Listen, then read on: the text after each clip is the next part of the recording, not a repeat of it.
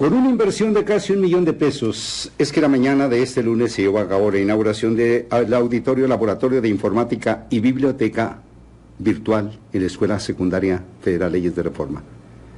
Estará cumpliendo 71 años próximamente al servicio de Delicias y su región.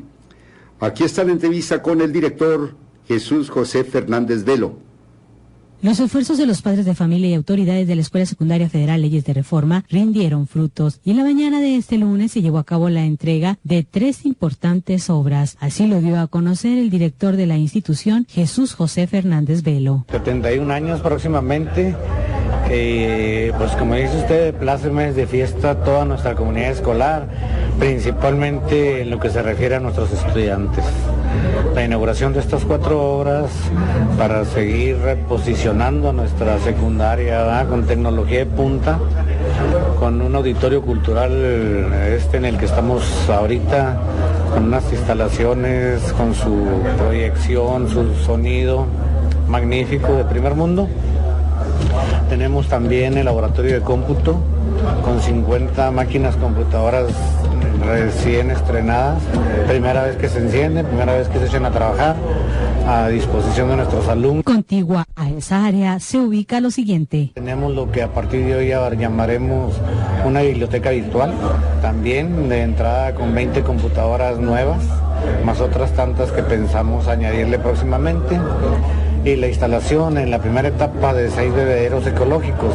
Eh, estos bebederos, bebederos ecológicos van conectados a la red normal de agua, pero únicamente otorgan una cantidad de mililitros, de mililitros adecuada nada más a lo que el muchacho se va a tomar.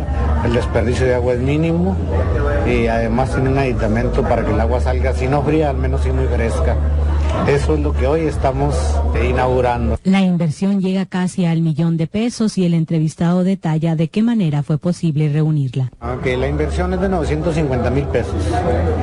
Claro que el, primer, el, primero que hace la aportación es cada uno de los padres de familia de nuestra escuela, con su aportación voluntaria que nos hace anualmente, con, con su participación en, la, en el sorteo del vehículo. De ahí sale la, la primer parte de esta erogación.